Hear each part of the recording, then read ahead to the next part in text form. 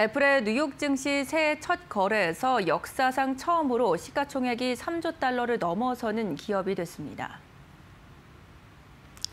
외신에 따르면 애플 주가는 이날 새해 첫 거래에서 주가 지수가 상승하는 가운데 약 3% 급등해 주당 182.88달러까지 치솟았습니다. 단 16개월 만에 시총 2조 달러에서 3조 달러 선까지 수직 상승한 애플은 코로나19 사태 초기인 2020년 3월 최저점으로부터 2년도 안 돼 3배 이상 급등했습니다.